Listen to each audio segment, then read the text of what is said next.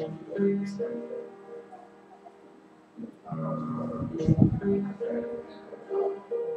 you.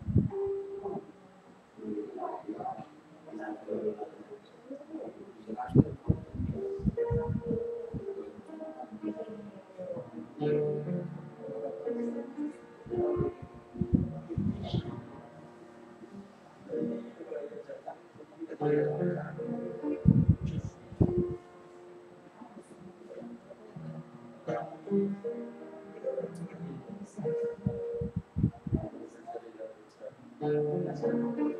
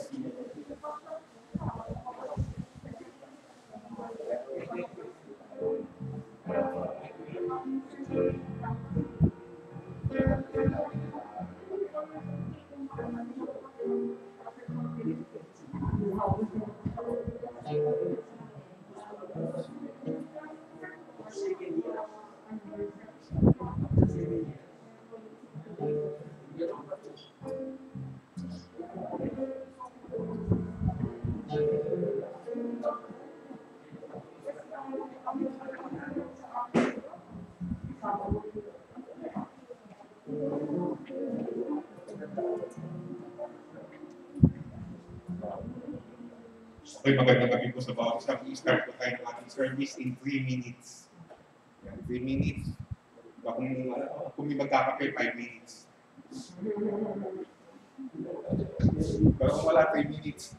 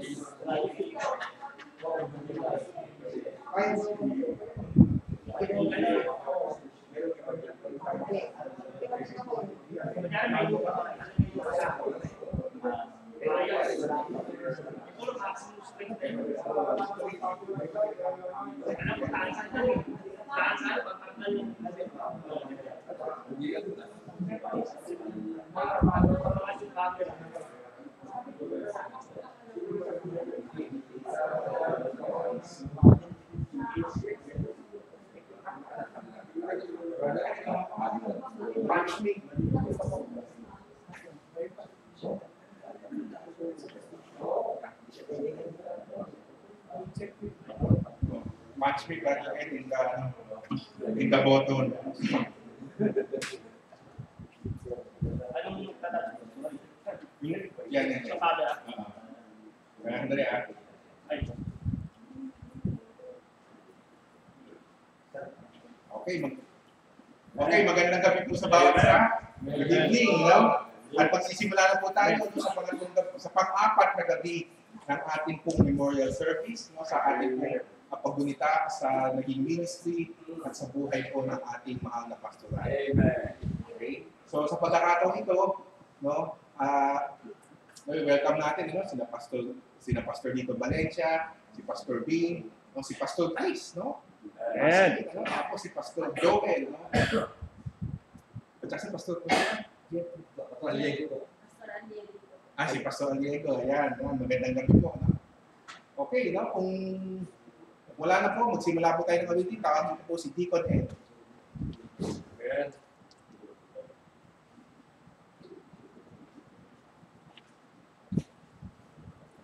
Okay, magandang gabi po. Tayo pong lahat ay magstayo at kunin po natin ang ating mga himnaryo.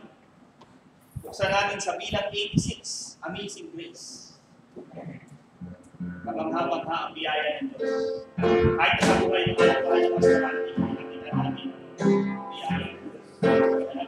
Nagkala sa kanya. Okay? On the garden, on the first verse, sing. Amazing grace,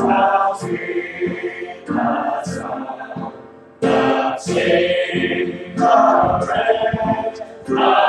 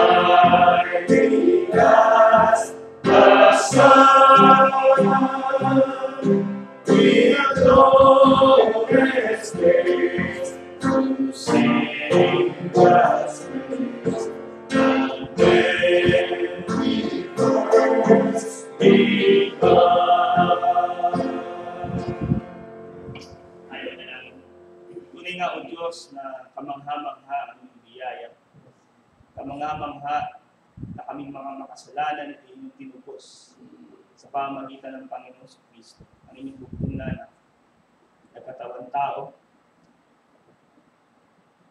napako sa krus, namatay inilibing, nabuhay ng magmuli sa ikatlong araw. At siya umakyat sa langit at nandoon sa kanan ng Ama na nag-aaral. Salamat po o Diyos sa inyong biyaya na kami inabot. Kami ay masasanlak sa kapahamakan. Ngunit gayon na lamang ang inyong pag-ibig sa sanlibutan na inyo pong pinagkaloob ang inyong lupong na na ang sino manampalataya sa kanya may buhay na walang hanggan. Salamat po o Diyos sa katotohanan ito. Salamat din po, Panginoon, na amin pong sinasariwa ang mga biyayang ito kahit sa buhay ng aming mahal na pastoral ng Panginoon. Salamat po sa maraming taon na siya po ay inyong iningatan,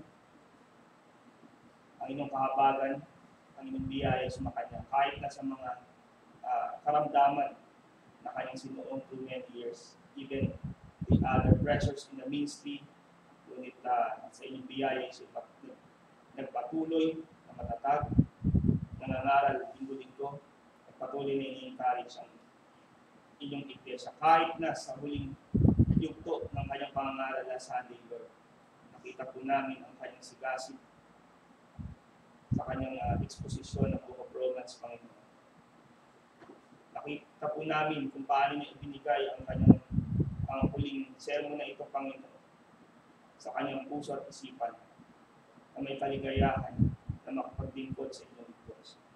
Kaya po, O Diyos, nagpapasalamat kami sa gabing ito. Patnubayan mo ang bawat isa. Patnubayan mo ang mga ngaral na iyong gagamitin. Tunay nga, O Diyos, na ang lahat ng bagay nito ay bigay ng papuri, kaluwalhatian at pasasalamat sa inyong pangalan. Ito ang aming samot dalangin sa matamis na pangalan ng inyong bugtong nana, ang Panginoong Heso Kristo. Amen.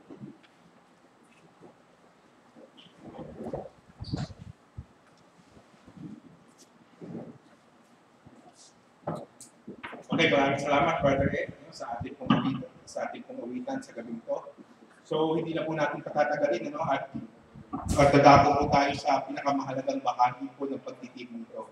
At yan po ang, pag, ang paghahayag ng salita ng Diyos. No? So, pagkakataon ito, tiyatawagan ko po no, ang isa pong ah, malapit na kaibigan, no? kasi Pastor Joel Sistoga. So, Pastor Joel, Amen.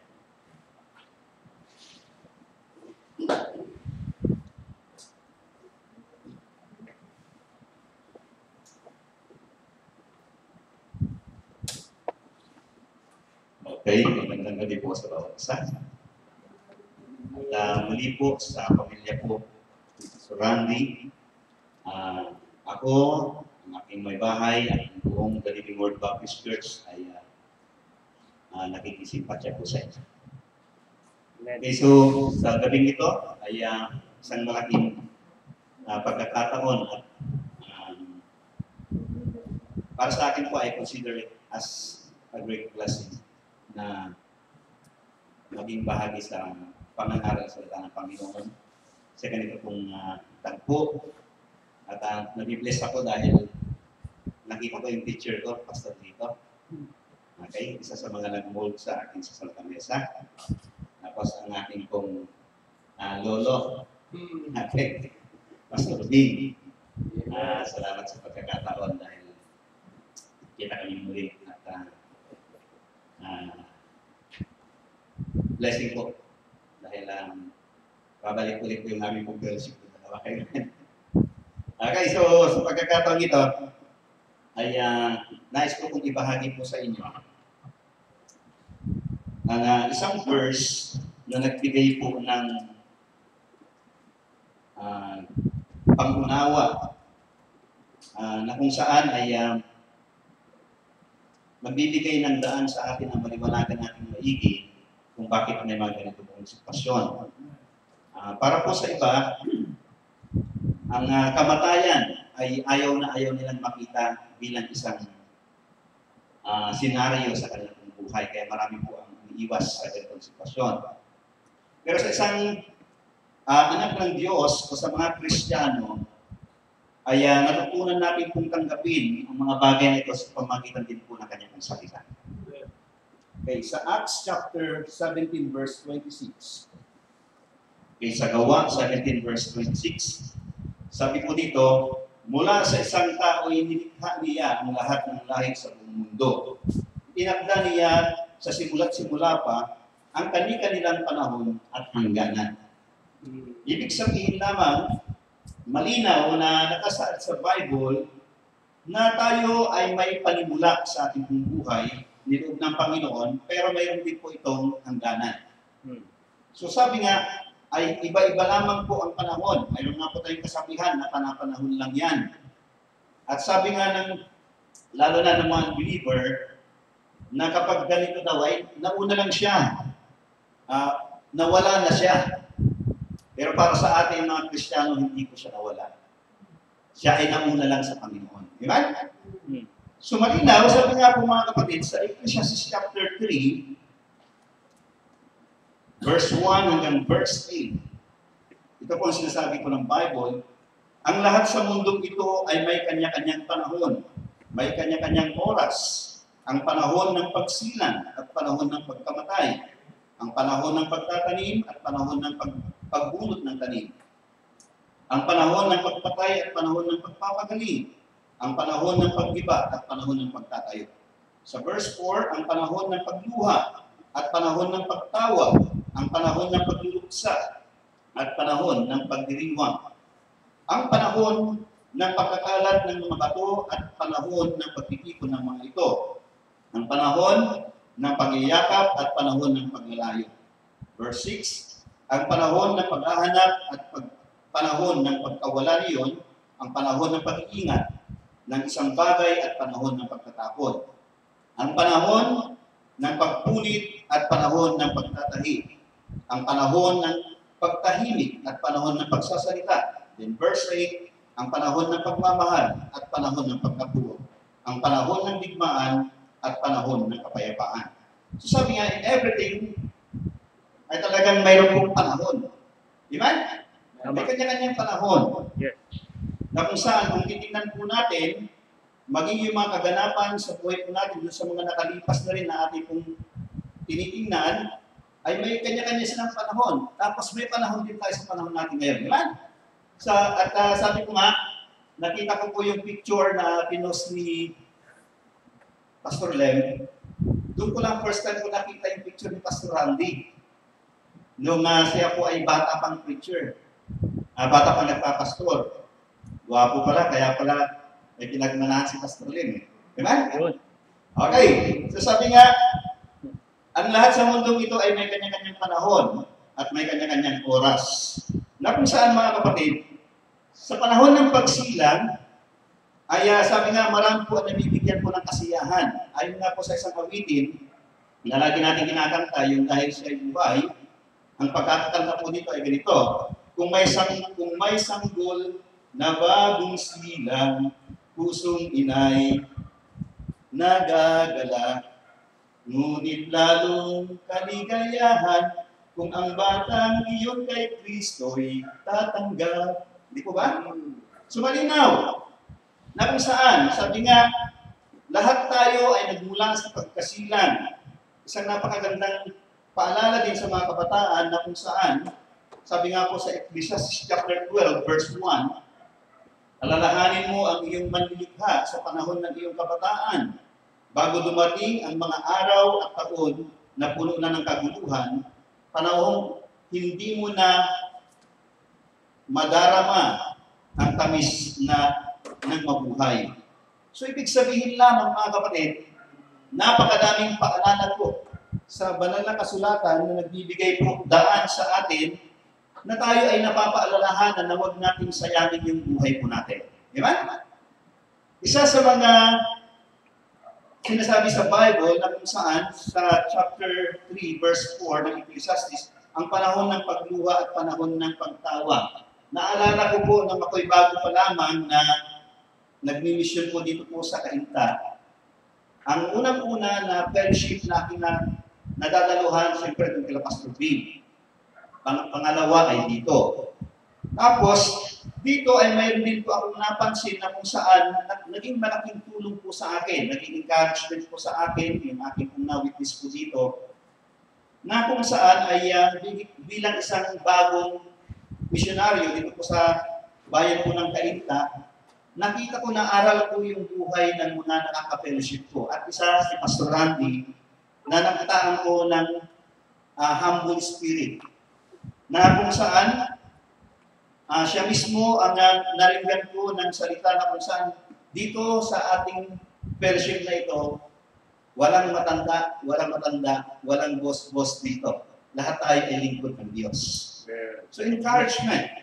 At sinabi nga po din po niya mga kapatid, siya po yung naringgan ko rin na kung saan yung fellowship natin ay gawin natin ng pag-aaral, marami tayong matutunan kung pag-uwi tayo na mayroon tayong mga baon. So, uh, binibigyan niya ng diin, lagi, every time na mayroon pong fellowship na kung saan, mayroong iuuwi na natutunan ang bawat isa. Isa yun sa mga tinitreasure ko mga kapatid na kung saan, hindi ko makakalimutan na marami po akong natutunan. Kasi bilang baga, batang pastor, ang hirap talaga na nandiyan ka na kaagad sa field, hindi mo alam kaagad yung sitwasyon. Siyempre, marami pong mga bagay na dapat pong i-adjust, pero nakatulong po ng malaki ang mga bagay na naituro po sa amin. Okay, so sabi nga, ay uh, nakakapag-encourage po siya, wala pong yabang, walang, wala po siyang uh, pagdadamot. Actually, sabi ko nga, napaka napaka-humble nitong pastor na ito. Tapos napaka mapagbigay. Nawi-witness ko yung ginagawa niya sa pamilya ni Pastor JR. Grabe, no? Kung ibang pastor lang yon sigurado sa dito, hindi na makaapak dito. Pero dahil sa kanyang ginagawa, pinapakita lamang niya na napakalawak ng kanyang pangunawa. Kaya dito mga kapatid, kahit may problema po siya, hindi ko nakikita nagre-reklamo. Kahit may masakit na siyang nararamdaman, hindi rin siya nagre-reklamo. Lagi pa siyang nakangiti. Maka, nagagawa pa niya mang-encourage po ng iba. So nakita ko sa bagay na yun na kung saan, mga kapatid, hanggang sa huling sandali ng kanyang pong paglilingkod, pinatunayan din po niya yung kanyang pong katapatan po sa Diyos. No? Katapatan sa Panginoon. At for sure, lahat ng mga dumadalo dito ay nakita po, na-witness yung mga bagay na yun. Na yun. At tunay nga, na ang buhay po ng tao ay maigsi. So si Pastor ay 74 years old. Yung tatay ko nung namatay ay 53 years old. Nung namatay yung tatay ko, grabe pong sitwasyon kasi ako po yung panganay ng lalaki. Ako yung bumuhat sa kanya nung bago siya mamatay. Napakabalik siya sa akin. Hanggang dito ko lang. Sa payat pa. Pero hindi ko siya kayang buhatin sa sobrang bigat. Pag mamamatay na pala isang tao, ay ganun pa ng sitwasyon. Alam niyo, pero nung siya ay bata pa, napakaliksi ko nun, hindi ko kaya yun, hindi ko kaya yung mga ginagawa niya. Kahit sa paglangoy sa ilog, sa dagat, hindi ko siya kayang abulin. Kahit sa pagbabay, hindi ko siya kayang talunin. Pero sabi nga niya sa akin, isa ang, isang bagay ang kanya kong iniwanan sa akin na hindi ko makakalimutan. Yung mga naituro ko sa iyo, lagi mong isa puso. Dahil pag nahiwalay ka sa amin, yan ang magiging sandata mo para mamuhay ka na independent. Alam nyo, akala ko noon ay lagi niya akong pinaghihigpitan. Yung pala, sinasanay lang pala niya ako upang ang dumating ang panahon na ako po ay mapalayo sa kanila, ay makakapamuhay po ako na makatayo mag-isa.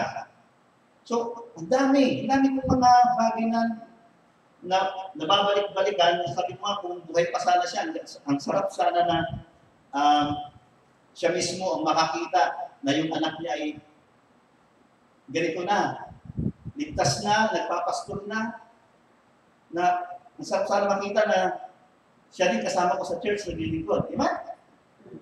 Pero dito ay isang sitwasyon, sabi niya na kung saan. Ang buhay ay napaka-iksi lamang yung 74 years, kapatid ay maiksi lamang. Ah, yung isa sa mga membro sa church na kung saan 94 years old, anim na lang ang kinakaw.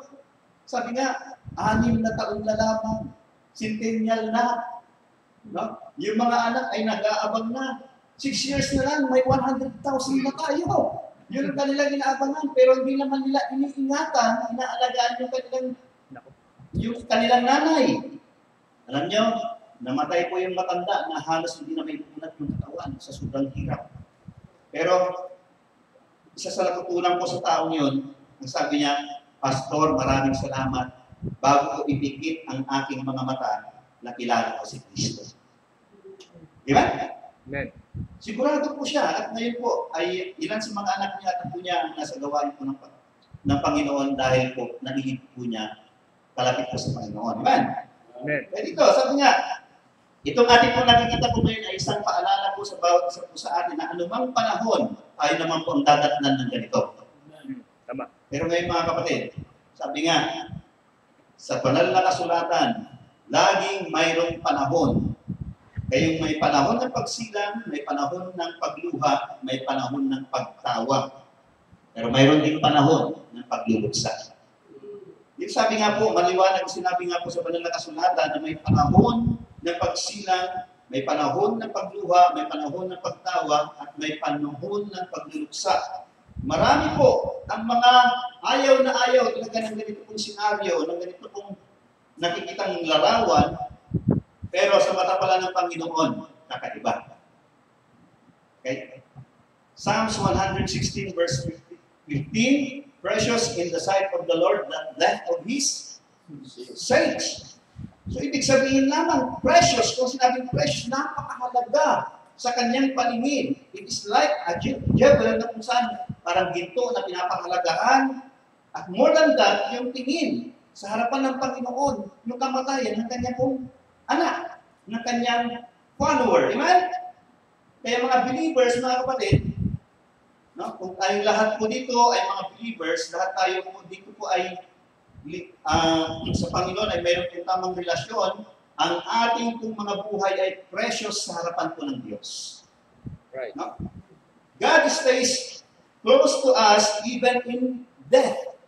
Kahit sa kamatayan, ay nandyan po siya. Sabi nga mga kapatid, maliwanag sa Ecclesi- Ecclesiastes chapter 7 verse 1b, ang araw ng kamatayan ay higit na mabuti kaysa sa araw ng kapanganakan. Kita nyo, Bible mismo ang nagsabi na mas mabuti ang araw ng kamatayan kaysa sa araw ng kapanganakan. Why? No, samantalang ang mga magulang, sabi nga nila, pag ipinanganak ang isang bata, tuwang-tuwa na yung magulang. Pero pagdating sa Bible, mayroon palang sinasabi dito na ang kamatayan ng isang tao ay mas mabuti kaysa sa kanyang kapanganakan. Alam niyo kung bakit mga kapatid? Kapag ang bata ay sinilang, haharap na siya sa panahon sa magulong mundo na kanyang titirahan. Di po ba? Napakagulong mundo na kanyang titirahan. Samantalang kapag mamamatay na ang isang tao, lalo pag ito'y nasa Panginoon, ay napakaganda na ng kanyang kalalagayan doon mismo sa piling ng Diyos. Right. Imagine? Dito, napakaraming sorrow, napakaraming problema, napakaraming kaguluhan, but in the presence of God, laging mayroong kapayapaan. Di ba? Kaya sabi nga, may panahon din po ng pagsasayaw o ito ay panahon ng pagdiriwang. Ito po, ang Diyos mismo ang nagsabi na kung saan. Sa bakit magdidiwang? Alam niyo mga kapatid, para po sa iba, no, yung tatay ko nung namatay po siya, yung mga kapatid niya na umaaway po sa kanya, biglang naandun. Na kung saan nung siya ay nabubuhay, kung ano-anong salita ang sinasabi sa tatay ko, kung ano-anong mga masakit na salita ang nakakarinig, ang naririnig namin mula sa ibang tao. Pero nung namatay ang tatay ko at pinaglalamayan, nandun sila. Wow! Kuya! Kuya! Sabi nga nung sa kapitbahay ko, itulak mo na nga para sumama. No? Sabi pa ng mga kapitbahay ko, mga ipokrito, yung kapatid ng tatay mo, yung buhay siya, inaaway, pero ngayon parang, grabe na, mga ganun. Pero sa isang Kristiyano, kapag ganito yung nakikita po natin, panatag na yung kalooban po natin. Dahil siya po ay nasa piling na po ng Diyos. Amen. Malinaw na malinaw. Sa Acts, ah, sa John chapter 3 verse 16, sabi nga, kung sino man ang sumampalataya sa kanya ay hindi na po mapapahamak. Okay? At patunay na nung siya po ay nabubuhay sa pastor, ay talagang nakita po sa kanya, naging visible sa buhay po niya, na siya po talaga ay nasa Panginoon. Na kung saan ginampanan din niya ang kanyang tungkulin sa pangaral sa salita po ng Panginoon nung naibibilin. Maraming inabot ng salita ng Panginoon through him sa kanya pong paglilingkod sa Panginoon. Right. Ang kagandahan pa nga, ihanda yung kanyang anak na siya magpapatuloy sa gawain po. Amen. Isang malaking blessing po mga kapatid. Sa Acts chapter 16, verse 31, believe on the Lord Jesus Christ and, thou shalt be saved. And thou, and thy house. No? Sumampalataya ka sa Panginoon at ikaw ay maliligtas. Ikaw at ang iyong buong sang, ah, sambayanan. Okay, yung, yung buong tahanan. Sabi nga, lahat ng kasambahay. Ibig sabihin lamang mga kapatid, yung pagsampalataya sa Panginoon, ito po ay mag, nagdudulot talaga ng kapayapaan sa pamilya dahil makakasumpong po ng kaligtasan. Amen? Yung pagsampalataya. Amen? Kaya dito mga kapatid, naniniwala po ako sa isang sitwasyon na ito. Nasa kaganapan ng mga kapatid, sabi nga po, babalikan ko lang yung sinasabi ko sa banal na kasulatan sa aklat ng Ecclesiastes. Okay. Chapter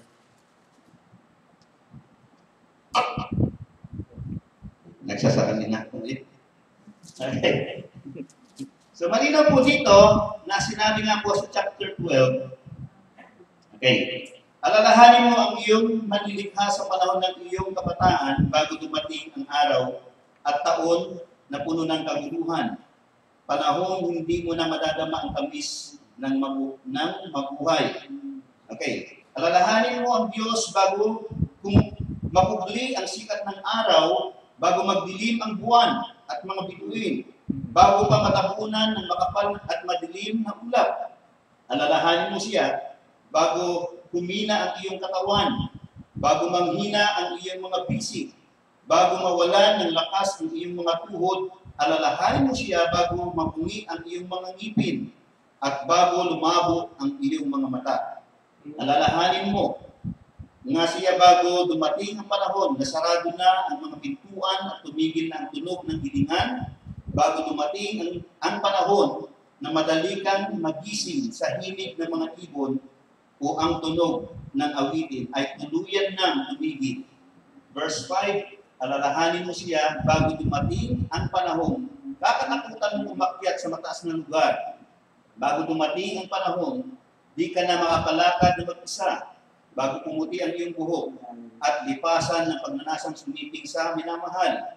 Darating ang araw na tayo pupunta sa huli nating hantungan at marami ang tatangis sa dagsanan. So malinaw po ito mga kapatid na ang buhay po natin ay hindi mananatili na tayo ay manatiling bata lang. Tatanda tayo. Okay, at darating din tayo sa ganitong sitwasyon.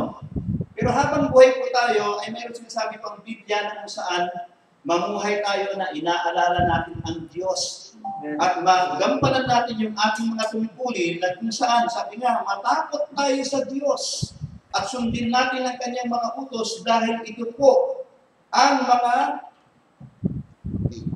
sabi nga, Matakot ka sa Diyos at sundin mo ang kanyang mga utos sapagkat ito ang buong tungkulin ng tao. Lala kung saan mga kapatid, tayo po ngayon ay napapaalalahanan ng ganitong sitwasyon. Dating araw ay ganito ang kalalagayan din natin. Dahil sabi ko sa Bi- Biblia, Hebrews 9.27, It is appointed unto man once to die, but, but after this the judgment. Lahat tayo ay naka-appoint para mamatay. Pero habang tayo nabubuhay, gawin natin ang magandang halimbawa na ipinakita ng halimbawa ni Pastor Tupas na nung, nung siya po ay nabubuhay, naglingkod siya ng may katapatan sa Diyos hanggang sa huling sandali ng kanyang buhay, tapat pa rin siyang naglingkod sa Panginoon. Okay. Sa pagkakataon ito, sabi nga sa Biblia, may panahon ng pagsilang, may panahon ng may panahon ng ah, pagluha, may panahon ng pagtawa, may panahon ng pagdiriwang. Ito po, sa bawat isa na narito, okay, si si pastor ay nakauwi na. Ang papalit sa kanya ngayon dito ay walang iba kundi ang kanyang anak. Ito naman na yung panahon para kung yung panahon noon na pagsuporta, pagmamahal natin sa kanya, pwede natin naman ngayong extend sa kanyang anak para suportahan magpatuloy ang gawa nito for the glory of our living God. Ha? Lahat po tayo, naway pagpalain tayo ng patuloy ng Panginoon at tayong lahat na bigyan niya ng kakayanan na tayo po ay maging masigasig sa paglilingkod sa Kanya habang tayo. God bless po.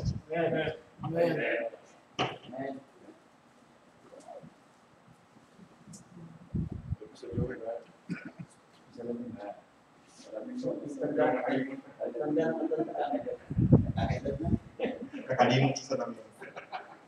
Okay, maraming salamat Pastor Joel sa salita ng ating Panginoon na tanggap po natin sa gabi nito. Bago po tayo dumako sa sunod na kabanata, doon tayo muna ay manalangin. Panginoon Diyos, na dakila sa lahat, kami po papasalamat sa inyo sa gabi nito. At kami po ay inyong muling uh, tinibon dito para po kami manambahan sa inyo. Kami po ay mag-meditate sa inyong salita. At hindi po, Panginoon, ay magunita po namin ang mga ang mga halimbawa po na dapat po namin na natularan dahil sa kanila pong dahil sa kanila pong pagsunod sa inyo. At ganyan din po, Panginoon, ang inyo pong ang pinakitang halimbawa ni Apostol Pablo kung saan sinabi niya po that you follow me as I follow Christ. Kaya Panginoon, sa gabi ito, ay kayo po ang patuloy na kumilos sa aming mga puso. Nang lalo po kaming maging matapat at maging masunodin sa inyong salita. And all these things we ask in Jesus' name. Amen. Okay, now sa na sa pagkakataon ito, uh, mag- mag-request po ako ng mga testimony. So, uh, pero isa lang po sa naalala ko na lagi po sinasabi ni Pastor sa akin na napagdating sa gawain ng ating Panginoon. There are only two sources of power. It is not political power, it is not influence peddling, or it is not and it is not other forms of earthly power, but it is only by the power of the gospel and by the power of the Holy Spirit. Yeah. At kapag sigurado ka that you have those two sources of power, diyan po natin makikita ang pagdilos ng ating Panginoon. So sa pagkakataong ito ay may pagka-impromptu po ito. Yung akin pong i-request na mag na mag-testimony dito dahil alam ko naman po na may akin po mga tatawagin ay naging malapit po sa ating pastor. No? So, ano, so request ko po si Pastor Lino Valencia na maaari po. Ned.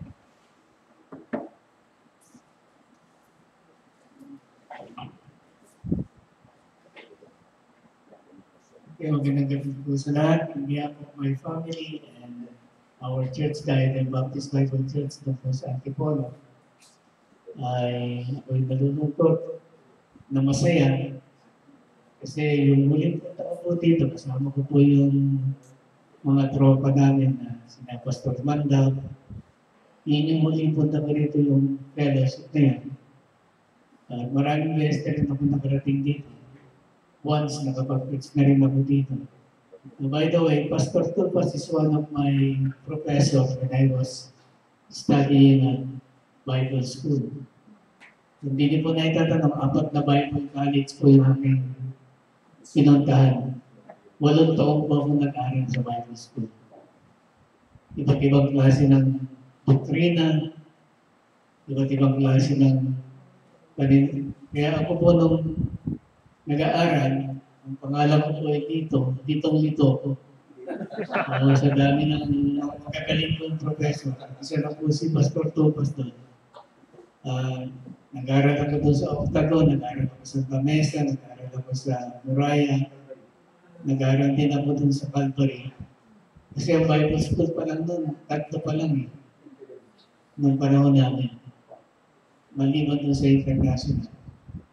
So, one of the subject that Pastor Tupas, being my professor, yung problem text, talagang problema po kami mga ba talaga yan? sa ano, sa kaya hindi ko na ako matandaan yung grades ko eh. Kasi puro problema yung binibigay sa amin. Lalo na si Pastor Tupas, pag nag-preach yan, nagturo, ang lalalim po. Talagang hindi mo talaga maaraw, lalo, lalo na kapag uh, pag Krisyano. Ibig sabihin itong text na to, problem talaga to. Kaya, yun ang ano. Tsaka, si Pastor Tupas ko ay hindi mo yan makikitang nakasimangon. Lagi ko yan nakangiti kahit nahihirapan yan, kahit nung nandito sa wheelchair na. Uh, yun ang isa pang isa sa mga tsaka masarap kumain yan. So, kaya kaya nung tinignan ko, ang laki. Malaki pa rin siya. Uh, nagpapasalamat po ako sa pribileyo na maging bahagi din po ng buhay niya. Uh, bali parang ano ko na rin siya, parang lolo ko na rin sa pananampalataya kasi kami po yung mga apo ng mga Santa Mesa. Kaya galing po kay Pastor Padua, uh, naging, hindi ko makakalimutan yung when I was, when I invited him to our church, ay hanggang ngayon yung outline niya, nasa akin po, tsaka yung kabuhan niya, ang topic niya about worship. Kaya nagpapasalamat po ako na uh, supposed to be, hindi po sana ako makakarating dito dahil ito po aking kaibigan pastor na kapartner. Kasi meron po akong sakit ngayon. Uh, since 2015, if I remember right, uh, 2013, I was, nagkamali po yung bigay sa akin ng gamot ng doktor. Kaya nagkaroon ako ng depression. Napunta po sa Parkinson. Kaya yun po yung aking tagline na napakahirap po itong sakit na to. Kaya yun po yung aking kasi nga, kaya lang, nung tinawagan ako ni Pastor yun, sabi, parang ang hirap ano, pumunta. Kapag talaga yung decide ko makarating, dapat sana ng Sunday. Kaya lang medyo pagod na rin. Kasi maghapon na rin kami sa church. Eh. 8.30 po ang start namin. Natatapos kami ng alas 4. Maghapon na po kami doon. Kaya ayoko nang bumalik doon sa online preaching. Dahil uh, parang hindi ka sumasabi. eh. Hmm. Kaya Pasalamat ako sapagkat yung mga member hindi yung masatigan din yun. eh. Kaya wala, wala sa amin yung tinatawag na social distancing. Talagang puno-puno yung ano na magkapon. Uh, nagpapasalamat po kami sapagkat hindi yung masatigan din ng mga kapatiran na makapakinig ng salita ng Diyos. Kaya actually, sa umaga na lang din ako nag-frequency. Tapos yung mga na-train namin mga preachers today sa hapon. So, pasalamat po ako sapagkat andyan si Pastor Len, Len na kita-kita ko yung pagiging pastor niya eh. Eh dati parang ano lang yun eh, si Bunso, parang, parang ano lang yung hindi mo akalain na papalit sa tatay niya. Pero ngayon talagang kitang-kita mo na po yung paggawa ng pagkilos ng Panginoon sa kanya.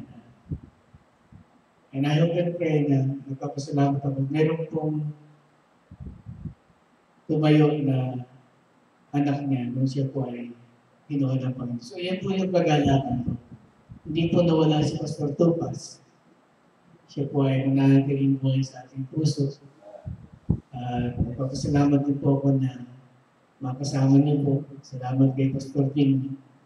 At driver pa namin. Siya pa magpapakain mamaya. Kaya hindi ko alam kung anong bait yan eh, si Pastor Vin. Yan po si Spurgeon. Kaya tingnan niyo po yung ano niya. Napaka kaya si Pastor Vin napakalapit yun kay Pastor Tupas. At si Napasalamat din ang kasama namin si Pastor Jerry. Uh, kapitbahay ko ng pastor yan. So, yun po yung aking kagalakan. Kaya Pastor Turbas, hintayin mo ako malapit na rin. Tayo magkita. Sa biyaya rin po. Lahat naman tayo ay pupunta dun. Tama. Lahat, lahat tayo ay uh, may sabi ng ating nakapagsalita. Mas masarap po yung kamatayan kaysa doon sa pagsilang.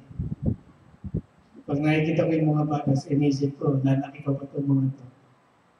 Uh, sa panahon natin yan, napakahirap din ng buhay, pero sa biyaya ng Diyos, tayo po ay makikita natin yung provision ng ating Panginoon sa atin. So, in that po tayo, especially sa kanyang may bahay, at dalawa lang naman sila magkapatid eh. Kaya, hindi na nag-asawa siya noon. Kaya, so we thank the Lord sa pagkat uh, natapos niya po yung kanyang tampuhin. Uh, I hope and pray na isang araw, tayo naman yung magtatapos ng maayos din. Kaya meron tayong legacy na naiwanan sa ating sa ating maiwanan sa kaya sa akin ngayon ay nagpe-pray ako na one of this day ay may sumunod din sa yapak na sa amin kaya yun po ang dream namin bilang mga lingkod ng Diyos na yung mga anak din natin ay sumunod po doon sa naniniwala tayo doon sa kung talagang tinawag tayo ng Panginoon. At yun ang kagandahan dito sa atin sa mga Bible Baptist. Yung kung marami sa iba din na tiniyak po natin na tayo tinawag ng Diyos sa lugar na kung saan ay hanggang sa mamatay tayo nandun pa rin. Kaya mas tinignan po 30 anniversary magte-31 na ngayon. Kaya salamat po sa buhay ni Pastor Tupas na naging bahagi po sa unity. Kasi salamat po muli sa pagkakataon din na mapatayo sa inyo sa pagkakataon. God bless you. Amen. Thank you very much po, Pastor Lito, sa ko. So, nalala ko lang dati din kasi sa Bible. Parang laging narinig ng feedback sa akin, ano yun, eh, parang terror sa Bible school yan. Iniiwasan daw. At lalo pagdating sa ordination, dahil maghirap daw magkaroon. Pero, uh, pero isa lang ang kanyang pinaliwanag sa akin. Kaya sabi niya bilang mga pastor, kinakailangan ay maayos yung ating uh, pagkakapresinta. Na mayroon tayong sinasabi niya na dun sa ano, logical na pag-iisip, logical na nag-deliver. Kaya sabi, hindi naman talaga eh.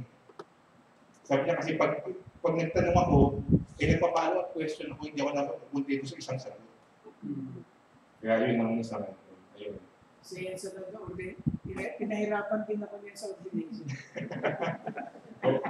Muntik na hindi makapasok.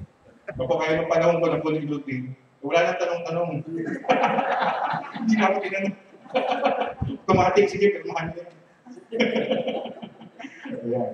So sa biyaya po ng ating Pangitas na banggit na ni Pastor dito na yung susulit sa'yo pa, yung ang samaang palat po na yung po aking na yung po aking kapatid ay ano po disqualified po na maging pastor. Kaya kaya sa akin po talaga. Amen. Ayan, kasi kaya sabi ko, ano, ang husband of one woman, hindi hindi wife of one husband. So, sige po, no? At ito pong susunod na aking tatawagin, alam ko po na malapit din po ito. No, kay, no, kay Pastor Randy. No? So, kaya tawagan ko po si Pastor James.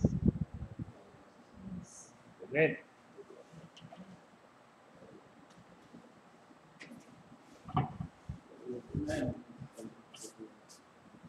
Yung magandang nilagay po sa bawat isa. Uh, malaki pong uh, talagang bahagi ng ating buhay pala na pala tayo sa Costa Filipinas. Kaya sabi nga sa Facebook, nung malaman ko siya ay umuwi na, ito, ako ay nagpapasalamat sa Panginoon na nagtagpo ang aming landas. Diba? Kasi sa pagkakatagpo ng aming landas, marami pong natutunan sa kanya. Kasi po, sabi nga siya ang John the ko po kasi kasi siya po nag-baptize sa amin. Siya po ang John the Baptist. Nang kapit tinawag ng Panginoon at nag-aaral sa Bible School, siya naman si, siya naman si Paul. Kasi marami siyang tinuro mga aral sa amin. At wala po kami ano eh, wala, wala naman kami nag-aaral sa Bible School. Wala po kami pinag kaiba sa mga, lahat ng tinuro po niya ay absorb everything. No? Lahat po kasi siya po teacher ko naman sa Bible doctrine. So, yun po ano, uh, kahit na po siya iniwan kasi talaga nung mga unang panahon talaga, meron mga, may, may, may, faction din. No? Hanggang may faction pa rin. But always I, I, I go to the pastors kung may mga ganong problema. So, kasi ito yung tinawag ng Panginoon, ito yung binigyan ng Panginoon ng enlightenment and instruction. So, stick lang oh. Okay? Sa kung may namang mali, sabi, humanly speaking, lahat, wala pong perfecto. Uh, lahat po tayo nagkakamali. Pero, meron naman tayong batayan para may tulit, hindi ang Biblia. Just stick to the Word of God, and God will lead you, and God will give you the enlightenment. So, salamat po sa Panginoon, Tipos na Tupas, sa kanyang pamilya, sa ministry po, sa countryside. Kasi po, uh, hindi po ako ano, uh, hindi ko po gawin na humingi ng tulong kung may problema. Po, pero nakikita ko po, no, na minsan na pinapos namin na ako yung gumagawa sa simbahan, nag-aayos ng, ng aming pagdaan, na may pangangailangan, hindi na po nagdadalaw sa dito si Pastor, Pastor hindi sabi niya, ah, Darwins, ah, meron kami pinadala sa inyo, tudong. Po. So hindi po ako talaga, hindi ko po gawin yung lumapit sa pastor, humingi ng tudong. Uh, sabi ko nga, ang, ang principle kasi ganito po, if you believe that God told me, and God has given me the right ministry, and it's the ministry of God, and you want to be blessed by God, then support the ministry. Now, if you think that I am not the right person, the ministry that God given to me is not the right ministry, then don't support me. Well, ako eh. Anong tinawag ka ng Panginoon, yung gawain niyo natin sa Kanya sa Panginoon, then, supportahan mo. Kung naniniwala ka. Eh, kung hindi naman, it's up to you. No? So, yun lang po ang uh, sa, sabihan ko ng Panginoon. Mahaba po ang pinagtag, ano, pinagsamahan ni Pastor Tupas. Nanda si Lemon, na eh, bata ko lang sa Fairview. Sabi nga po, ako ay isa sa mga teacher doon na pumapalo sa kanya. Yan din may kakalimutan ni Brad ni Pastor Lemon ngayon. Diba? Pero pa man kami naman ng Bible, di ba? May train pa dyan in the way that it should go. Uh, lagi namin yan, sabi nga, sabi ko na apply the rod of correction in the seat of learning. Kami palo ko talaga eh. Eh, eh, kasama sa patunalan. Ha? Lahat, alas kami po mga teachers sa Fairview, naging pastor. Pastor Alan, Pastor Al. At meron may mga estudyante na naging pastor din po. Isa po si Pastor Len, eh, yung pamangkin ni Pastor Mandap, JR. Eh, meron din po si June Manatao. Eh, marami po, marami po rin mga pastor sa Fairview. Hindi ko talaga, ako po yung sa Halawakan Bible ba, eh, noong 1980, 80 to 83, kasama nga ng pastor dito, nagkakalituhan. Kasi ba, nag-aaral din ako ng Calvary. Nag-aaral din ako sa Santa Mesa. Alas magka-pastor din, pastor dito. Pero po, nung malas ako ng Bible ba, napunta ko ng Fairview, talaga, hinto po ako talaga, totally walang Bible school. Ang ano lang po yung train ng Fairview, in the pit of Pastor Magdam, doon na kami nag-ano ng teaching, aral. Anong nasa ko ng Fairview, punta ko yung Pastor Adol, na tito ng misis ko, tito ng misis ko, doon naman talaga, para ba naman wala na yung coding. Pero after three years eh, kasi nagmuli kami doon 1997, ah 1990, yeah, 97, by 1999, pumunta ng Amerika. Gulat ako dyan. Punta ng Amerika, sinong iiwan mo sa, sa, dito sa Bulacan? Alam ko, yung Bible study mo, yung ministry. Ikaw, ba't ako? Ba't ako? Yeah. Ayun ko, eh, siguro, that's the right time na, ano, ng Panginoon, na uh, sundan na yung calling. So, matagal po, marami po kami sa kanya patutupas. Thick and thin. Kailan siya nagiging thick, ako nagiging thin. Yan ginagawa ko sa, sa Panginoon, di ba? Uh, masaya po, masaya, masaya ang fellowship, masama ang samahan. Kaya sabi nga eh, makita po ganito eh, dahil yung may mga kasi dito, eh, and there's mga sisis kasi, they don't have the principle of yung, I agree to disagree. Kapag nandun po prinsipyo, you agree to disagree, hindi ka maghihiwalay. May unawaan eh, may bigayan eh. Pero pag init yung sarili mo, tama ako, mali ka, hindi wala talaga kayo. Pero if you have the, the spirit of agreeing, even you are disagreeing, because you all, kaya, you think of him na siya ay anak ng Panginoon, siya ay pastor, siya ay, kasi lahat po tayo, kahit may mga diferensya, no, sa mga Baptist churches, still, pag ligtas, nasa langit din naman eh. Diba? Armenian ka, o electionist ka, sa langit pa rin naman eh. Ay, diba? Cosmic ka, premium ka, langit pa rin eh. O, diba? Ang mahalaga, ligtas. Ang mahalaga, ligtas. Kahit na hindi ka King James, kahit na hindi ka, langit pa rin naman eh. O, diba? Ano, ano, ano tayo mag-aaral eh? Ano may mga, na bridal ka, kahit hindi ka bridal, kahit ligtas ka, langit pa rin. Oo. Diba? Ayun, ayun po talaga. Kaya we must agree to disagree. No? Eh, makikita mo sa lahat, hindi mo sa doon siya kat na Armenian. Eh, Armenian ka, ba't nandito? Hindi eh. Ligtas pa rin naman yan eh. Diba? Ano ko bang Panginoon? Eh, ito sa, nahala na pa rin sa atin. Yun lang yung yun, no?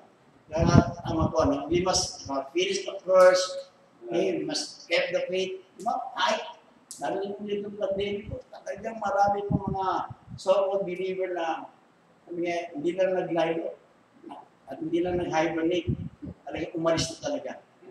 No? Kasi ito po yung refine time. Ito, sanaan talaga to eh. Hmm. Sanaan po yun, sanaan. Yes. Eh, ano po yung pag dumating na yung vaccine, sigurado, sanaan. Kasi pag sabi nga eh, pagka wala kang vaccine, hindi ka makakabili, hindi ka makakapasok. Eh parang ano na eh, yung tatak na yun ng anti-freeze eh. Diba? Sa yung cellphone, sa cellphone po, nagiging GSP na. Makitrace ka sa cellphone.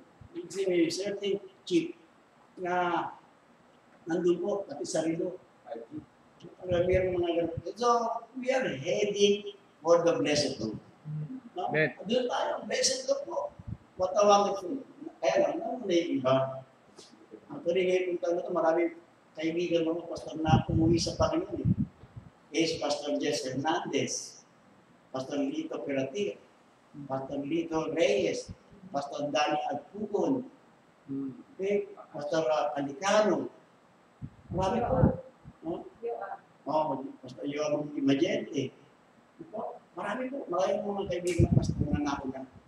Sabi namin eh, wala unahan. Sabay-sabay tayo. Eh, hindi mo nang pwedeng sabi ko, "Uy, baka mo na mamatay. Hindi mo. Hindi pwede yan eh. Yeah, dahil nga appointed. Pero masasabi ko, na tayo mga buhay ngayon, pag hindi tayo dinata ng kamatayan, rapture, halos wala naman na tayo pag-iwanan. Sabi-sabi tayo sa rapture. Diba? Kahit na naniniwala ka sa spirit rapture, hindi na sa langit eh. Maraming natuloy na po baptist, di ba? Marami. Eh, pero dahil lang ang mahalaga ko din yung pinaka-common at uh, mahalaga yung salvation by grace through faith. Diba? Kasi po, kaya, eh, tatanggapin kita kapatid, kapatid kita, po si Kristo, sa akong sumunod. Ano?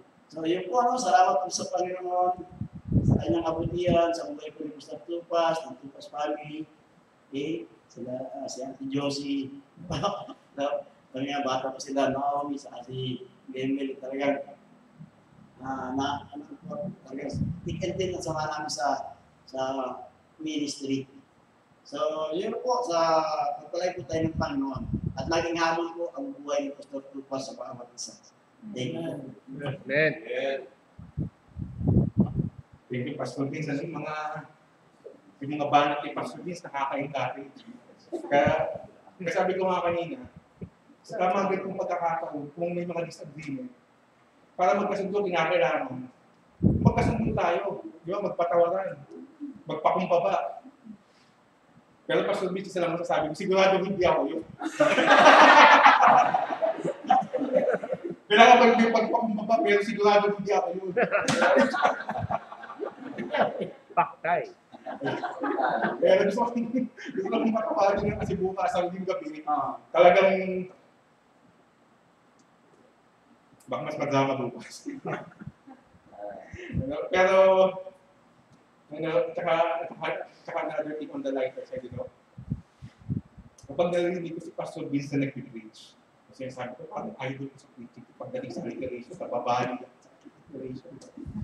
Kaya, Ayun, sige, sige. So, sige po, no? At marami pong salamat sa bawat isa na naging bahagi po ng ating pong ah, gawain sa gabi ito. Na nawa, no, uh, patuloy tayong pagpalain ng ating Panginoon. No, ang libing pala ni Pastor Randy ay 3 o'clock ng hapon sa Himayang Pilipino. No? So, ang ating final service is on Thursday. Thursday, 12 p.m ano si Pastor Papa po ang ating magiging preacher, ang magpo-commit. No, and then ang pupunta po sa Himlayan, kami kami na lang po. No, dahil kasi discourage po kami ng management na magdala ng napupunta ng ano, marami. Pero sabi ko na lang sa mga taga doon, mas malapit, kung hindi naman abala sa inyo, gusto nyo, na pumunta dito, mag-jogging na lang muna kayo sa Himlayan. Kapag may nakita kayo po, kahit tanongin niyo yung mga sipol ko, kaya, sino ba ililibig dyan? Kaya, gusto na lang kayo muna, mag-jogging-jogging. Tapos pag nandun ka, eh, sigurado makikita niyo kami. Ayan. So sige po, no, so, ang sabi po ng ano, funeral, one third sila dati ng St. Peter. So, gusto patuloy lang po tayo manalangin. No? So, ang pinaka-prayer request ko po sa lahat, no, ay, ay ang, ay ang patuloy po na napag-comfort ng Panginoon, hindi na po sa pamilya, sa church, kundi sa bawat isa po na, na nagmamahal sa ating pastor na na there could be losses. No? At hindi natin pwede na hindi brush off ang grief. No, talagang pagdadaanan natin yan. Pero ang sabi na sa Biblia, there is a time for everything. No? Matatapos at matatapos din ang grief at tayo makakamove on. So, kaya hamon ko sa mga kapatid ng countryside, na that a new day will, God will soon begin. No? At, at sama-sama tayo. No, dahil naituloy natin yung naging legacy ng ating pastor no, dahil no, tulad ka ng sinabi natin ni Apostol Pablo that you follow me as I follow Christ. No? So yun lamang po, no, maraming salamat at and let us close in prayer. And tatawag ko si Brother Ed no, to uh, dismiss us.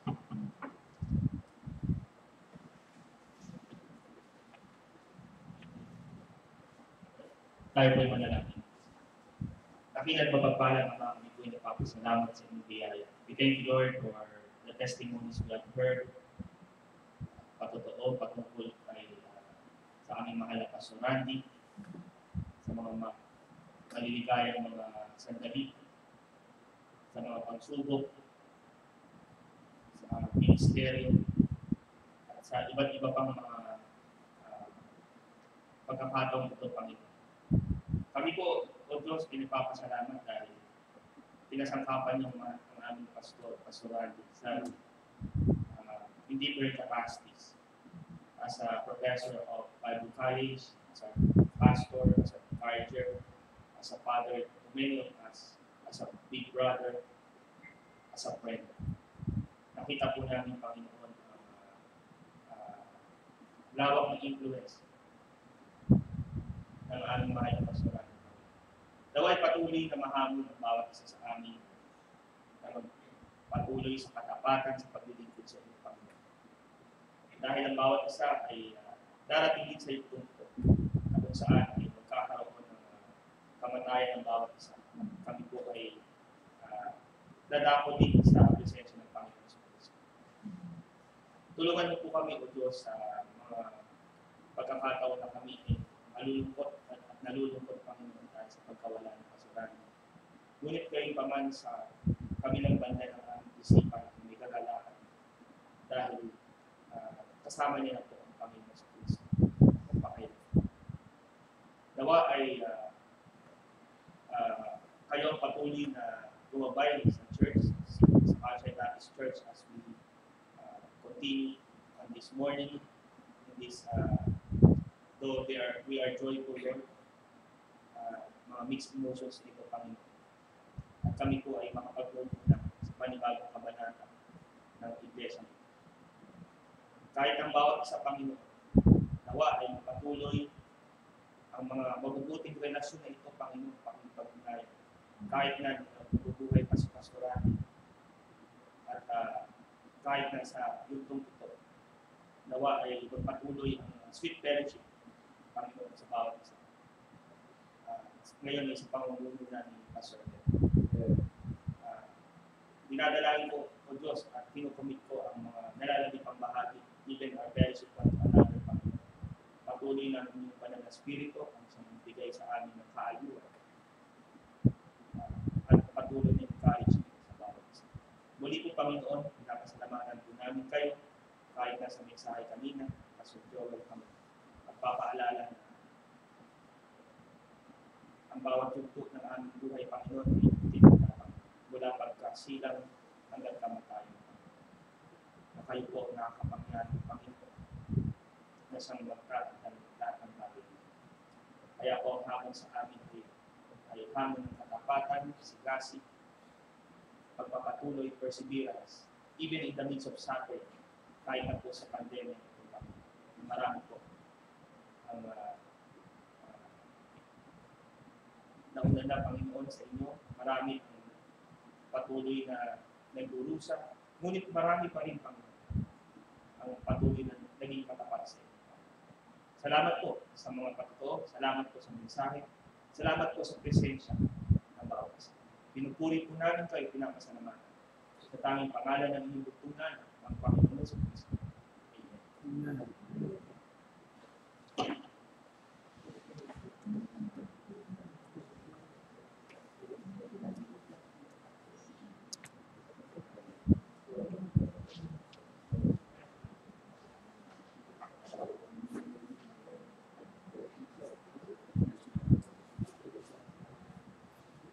Isa nga pala, bago pala tayo bago pala po tayo magkapunan, tayo po muna ay manalangin para sa sa ating mundina. Let's pray. Panginoong Diyos na nakila sa lahat, kami pinipapasalamat sa inyo sa pagkain ito ng aming pagsasaluhan. Dalangin po namin, Lord, na kayo pong patuloy na bibigay po sa amin ng kalakasan through this food. At dalangin po, Lord, na kayo po ang patuloy na mamuna sa bawat isa. In Jesus' name we pray. Amen.